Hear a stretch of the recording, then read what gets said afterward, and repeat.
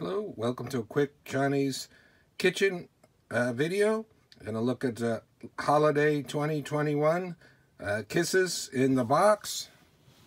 take a look here. Nice red foil with white. And it's hard to see, but uh, in there the the label says ho ho ho on the little label pull label. Uh, very nice. This is uh, new packaging for 2021 Christmas holiday season. There it is on there. Uh, nice. Uh, oh, it's got a, all of 200 calories. Uh, so that's very cute. A nice little uh, chocolate treat for Christmas. Put that in stockings or whatever.